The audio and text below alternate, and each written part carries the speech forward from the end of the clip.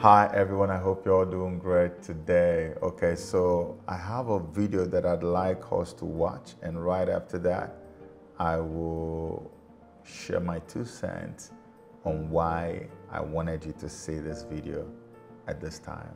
Take a look. Ugochukwu Ekwem, the General Overseer of Christ Living Hope Church, has been trending after news broke out that he was arrested by the National Drug Law Enforcement Agency for smuggling 54 sticks of cannabis that were found wrapped around his body. The spokesperson for the NDLEA said the pastor was apprehended at the Lagos Murtala Muhammed International Airport on March 7th while on his way to Kenya for a three week long crusade. The pastor has been quite popular owing to his preaching techniques, especially during deliverance. Let's take a quick look at one of his crusades. Oh,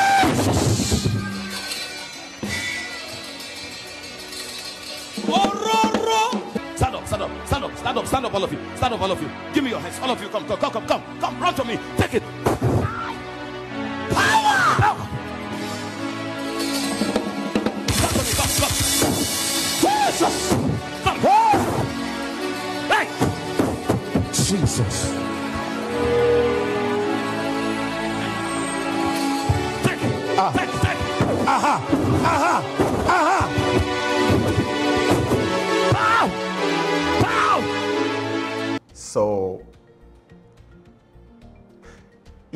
Have been active in the media, especially on social media, you must have seen countless similar videos from these imposters who claim to be servants of God.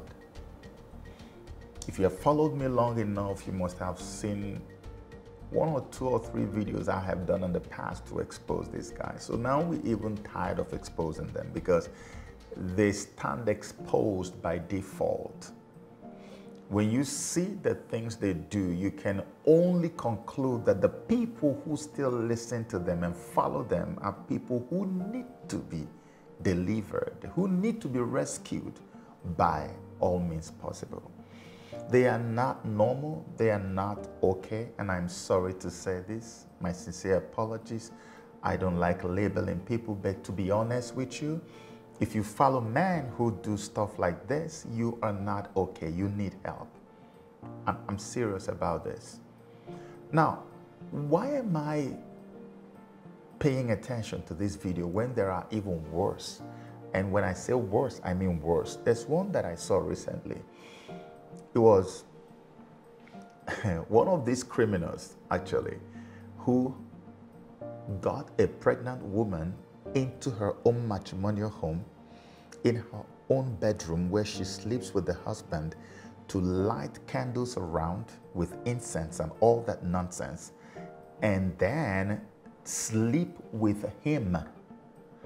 This criminal was going to ritually violate someone's wife who was heavily pregnant in the name of religion and spirituality, in the name of prophetic injunction. I see these things every day. My heart is burning because from day one, I have been profiling these guys, hoping that someone out there will at least listen and be advised. From the days of my pastor said we should eat grasses, and they went on ground and began to eat grasses, to all these ones now that are having children with their deacons' wives and their pastors' wives, and they are prophets. You call them Papa, Daddy, and they never have their real names. It's always one concocted name from somewhere, and they always almost look alike, all of them. 99.9% of them are occultists who have sold their souls to the devil. Mark my words, quote me anytime, any day. I have had serious encounters with these people. I'm not joking. I'm saying this because I have this incredible burden in my spirit to actually wake people up because people are now sleeping on mass. It's almost like they just blew something in the air, and our people have gone into some type of psychosomatic slumber, unable to wake up into consciousness anymore. Why? What happened to your Bible? You can't read them anymore. You forgot all the places where the Bible talked about false prophets and false preachers and how to know them. Why? Why? You don't remember the scriptures again? There are too many of them. They are in New Testament, they are in Old Testament. God warned us. Matthew 7 22 the Bible says, Oh, on that day they will come to me and say, Master, did we not heal the sick in your name? Did we not do this in your name? Even raise the dead. He said, I will tell them, Away from me, you evildoers, for I know not who you are. Can you imagine someone who healed the sick in the name of Jesus? Who commanded headache to disappear in the name of Jesus? Who even raised dead in the name of Jesus. Can you imagine such a person? Christ said he will look at that person and say, I don't even know you, sir. Excuse me, who are you? Like he doesn't even know their name at all. But it's on record that they healed in the name of Jesus, in the name of Yeshua. Because it's a name that is given unto man above all the name, at mention of which every knee must bow. It doesn't matter who is mentioning it. But you get carried away by the fact that somebody is doing some gymnastic displays in the church, dramatizing. This is my word, Nollywood. We we dramatize, we make believe. That's what these guys are doing, and you believe it. You believe it.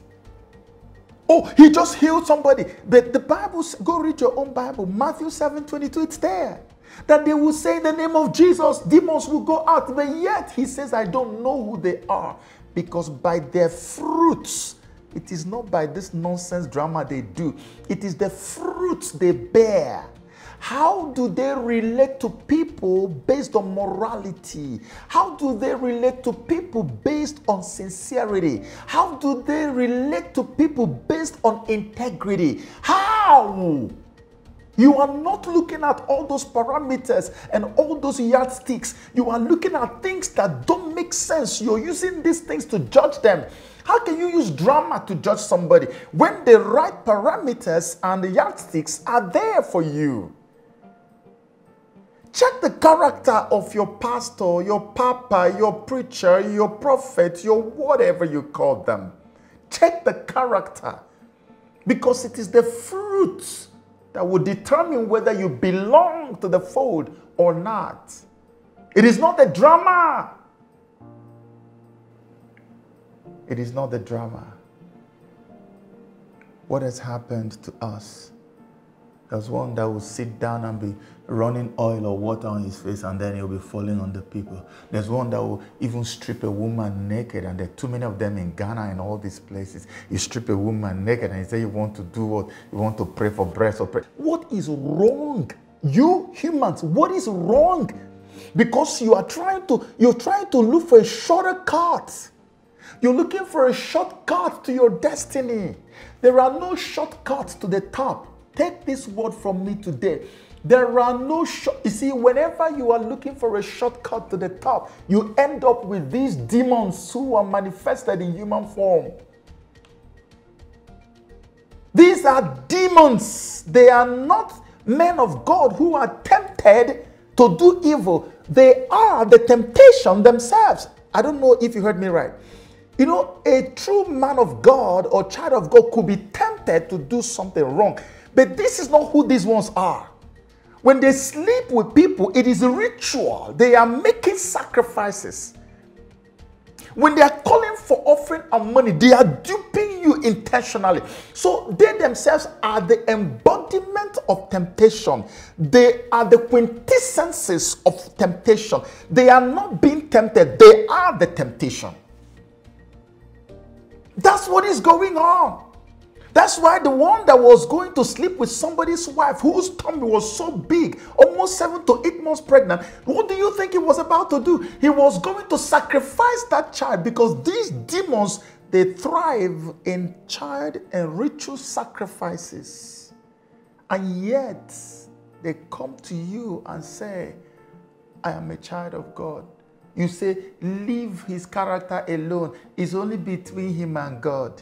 He carries your little baby girl, 13 year old, 14, and rapes the child and disvirgins the child and uses the blood of that disvirginity to go and carry out his satanic ritual sacrifices so he can become famous and get more members. And you say that's between him. Don't talk against the anointed of God. You need help.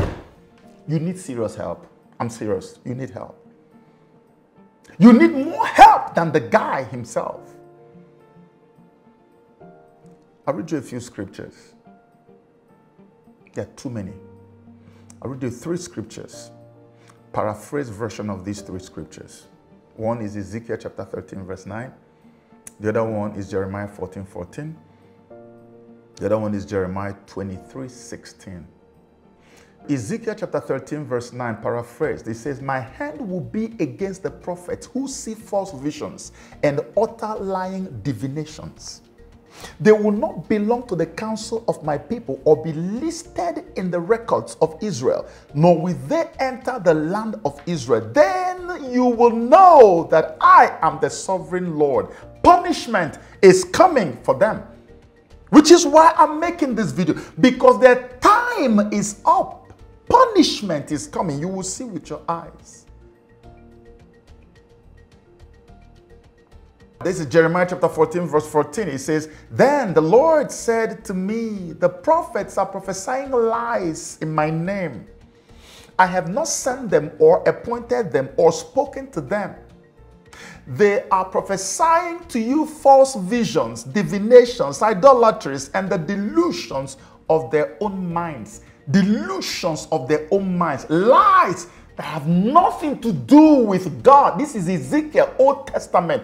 I have not sent them, and yet they are doing it, and you are believing it because you have not the Spirit of God in you. Jeremiah 23 16, he said, This is what the Lord Almighty says. Do not listen to what the prophets are prophesying to you. They fill you with false hopes. False hopes talk about false hopes. They speak visions from their own minds, not from the mouth of the Lord. False hopes. They tell you, don't worry, this shortcut will lead you to the top.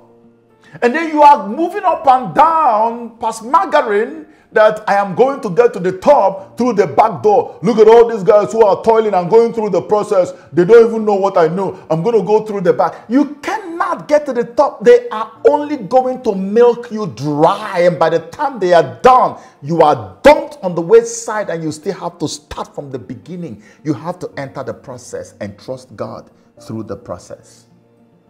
There is a process to every journey of destiny. There is a principle and there are precepts that guide every sphere and aspect of this life. You must understand this and let it sink deep down in your brain so you don't become a guinea pig for a propaganda machine as we see too many of them all over the place today. They are brainwashing and brain damaging so many of you. And it beats my imagination as to how human beings can sit down and listen to these guys. Very incoherent, living animals, and you listen to them and you believe that the rubbish that they are spewing. It makes no sense. There are no shortcuts to the top, my beloved people. Let's wake up. You know, we have for far too long ignored all these things. And I have this troubling in my spirit that we need to stop ignoring these things. Because there are too many innocent people who are getting caught in the web of these lies and manipulations of Satan every blessed day. And if we don't speak up, if we don't take action, their blood will be on our heads. Those of us who know, who are free from this wickedness, should speak up. This is what happened to David Koresh. This is what happened in Guyana tragedy. They gathered all these people, brainwashed them, told them you need to go and drink cyanide, drink acid. We are going to heaven. And the people did it and died. There's another one that happened. Oh, we are going to go to heaven tonight. They went and set themselves on fire and they all disappeared. There are many. What about the one recently that they say that they had to pay $100 so they can go to heaven, a ticket to heaven? There is no amount of delusion, grandiose, that we have not witnessed in this time. And yet, as they are being exposed, you are still falling victim. Who are you? You are the person I'm making this video for today. If you are in such a place, can we walk back to the scripture and know what the Bible says? It says, by their fruits, not by the dramatis extraordinaire, but by their fruits we shall know them. What fruit are you manifesting? What fruit is your pastor manifesting? What is he doing? Don't say, follow my words, don't follow my actions. It's a lie. We want to know your action. We want to follow your action.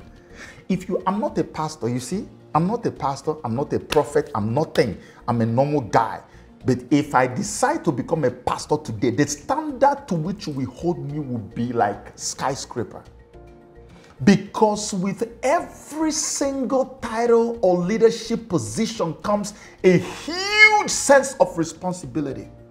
Why are they not owning up? Because they are demons. They are devil incarnate. You know what they are doing?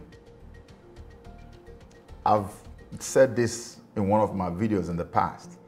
What they're doing is almost like, let me give you this analogy where, for instance, my dad, okay, he's a very wealthy man.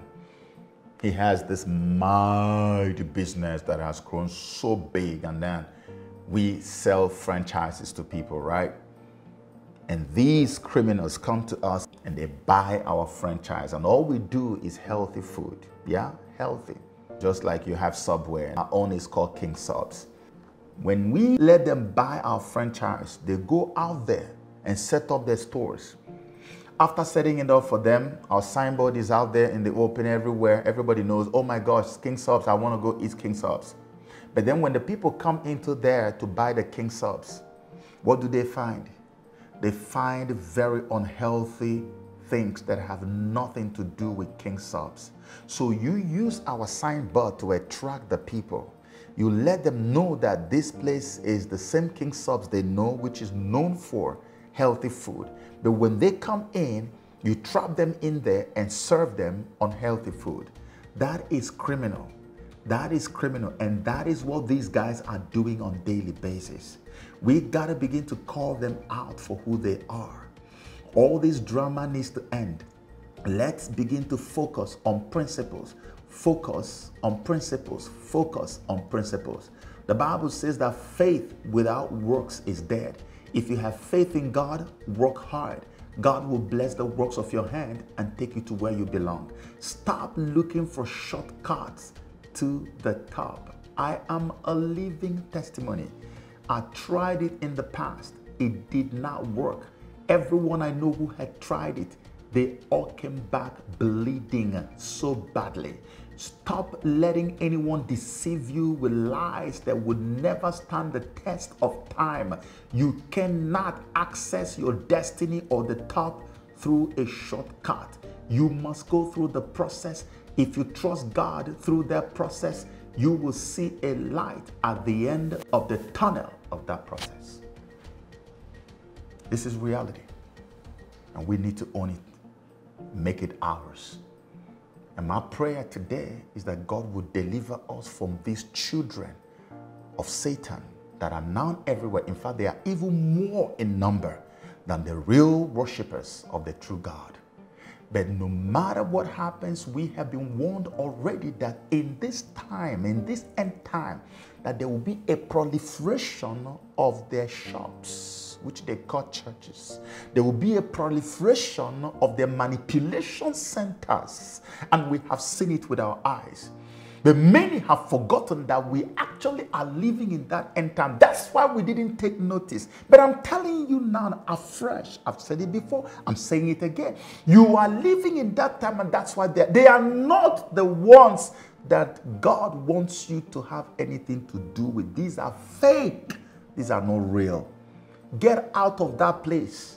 When you walk into a church and the only reason why you're there is because of the way they dramatize and tell somebody, oh, I know the color of your boxer. I know that this morning you wore a blue pant and later you changed and wore a red pant. Oh, man of God, you are right. Hey, daddy, that is true. If that is why you're there, get out.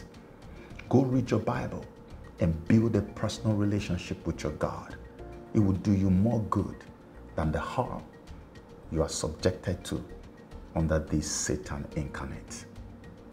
May God help you, protect you, and protect you and your family. And may all the contamination that you may have received from these places be completely neutralized by the blood of the Lamb. And may you be free and free for good. God bless you.